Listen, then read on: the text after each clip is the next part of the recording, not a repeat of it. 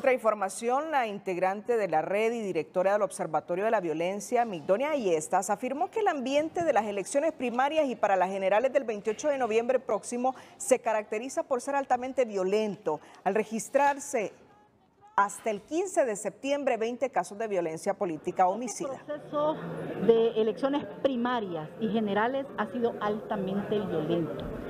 El año 2017, entre las elecciones primarias y generales, fueron 12 casos de violencia política homicida. Y este año, desde el 23 de diciembre, que inicia el proceso, hasta, hasta el 15 de septiembre, que hemos hecho un corte para análisis del observatorio, son 20 casos de violencia política homicida. Ayestas aseguró que de continuar con esta situación se podría ver un incremento fuerte de violencia política después de los comicios generales del 28 de noviembre.